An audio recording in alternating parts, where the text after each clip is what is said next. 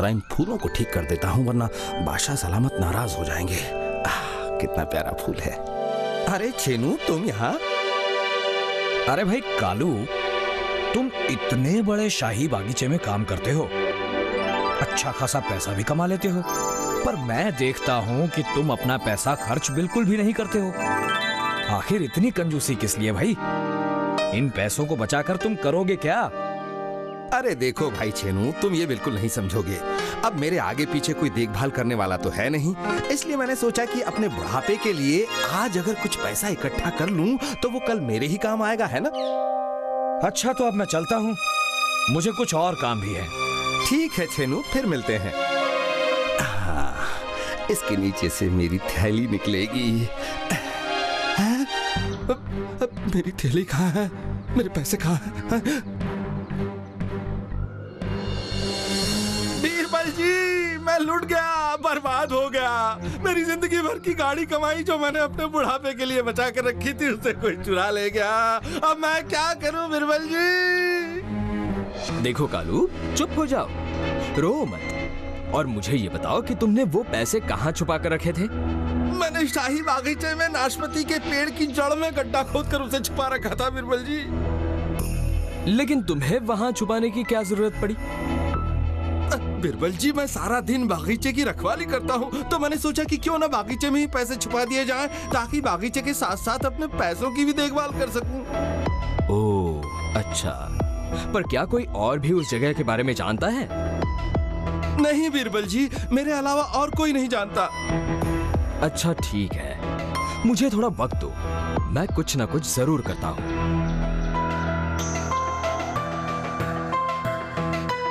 किसी आदमी को पैसों के बारे में तभी पता चल सकता है, जबकि वो पेड़ की जड़ में गड्ढा खोदे हाँ मैं समझ गया। अब मुझे क्या करना है, मैं ज़रूर समझ गया।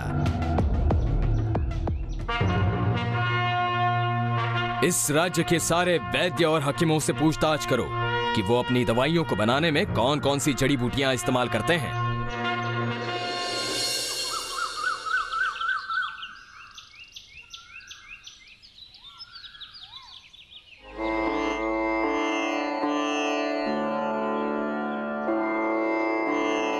क्या नाशपति के पेड़ का कोई हिस्सा दवाई बनाने में इस्तेमाल किया जाता है या नहीं?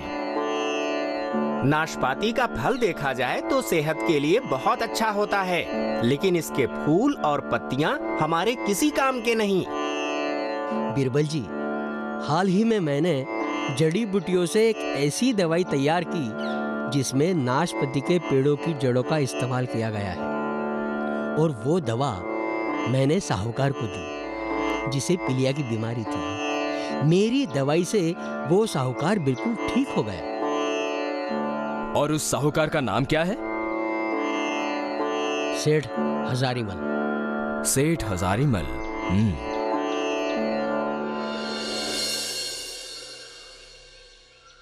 सेठ हजारीमल को बुलाया जाए। तुम्हें जो पीलिया की बीमारी थी वो कैसे ठीक हुई? बीरबल जी मेरे एक वैद्य ने जड़ी बूटियों से एक ऐसी दवाई तैयार करके मुझे दी जिसमें नाशपति के पेड़ की जड़ें भी शामिल थी। उस दवाई को खाते ही मेरी बीमारी दूर हो गई और मैं फिर से पहले की तरह सेहतमंद हो गया।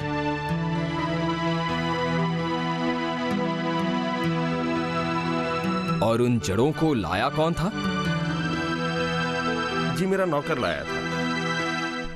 हजारीमल जी आप जरा अपने नौकर को बुलाइए। क्या तुमने ही इन्हें नाशपति की जड़ें लाकर दी थी? जी हाँ बीरबल जी मैंने ही लाकर दी थी। और ये पेड़ कहाँ पर था? जी शाही बगीचे में। तो क्या तुम अपने साथ सोने के सिक्कों से भरा थैला भी लाए थे? जो तुम्हें पेड़ के नीचे मिला था। लाओ वो थैला फ़ौरन मुझे दे दो। लेकिन लेकिन मैं तो मैं लाओ वो थैला फ़ौरन मुझे दे दो। जल्दी से वो सिक्कों से भरा थैला मुझे वापस कर दो ताकि तुम्हारी गुस्ताखी माफ़ कर दी जाए। नहीं तो माफ़ कीजिए बीरबल जी मैं अभी वो थैला लाकर दे देता हूँ।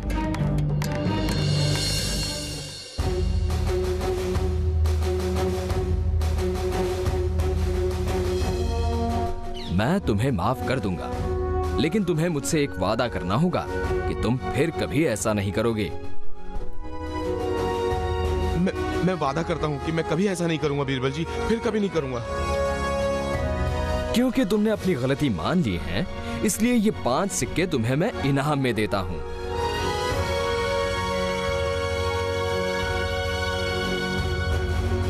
आओ कालू। ये लो कालू ये रहा तुम्हारा थैला। इनमें से पाँच सिक्के मैंने तुम्हारी लापरवाही का जुर्माना समझ के रख लिए हैं हाँ। फिर कभी ऐसी बेवकूफ़ी भरा काम मत करना। और अपना पैसा अपनी जगह पर कभी मत छुपाना, ठीक है? बहुत बहुत शुक्रिया बीरबल जी, आपने मुझे बर्बाद होने से बचा लिया। मैं फिर कभी ऐसा नहीं करूँगा। मुझे आपने आज बहुत बड़ा सबक सिखाया है। आगे से मैं कभी भी ऐसी कंजूसी नहीं करूँगा।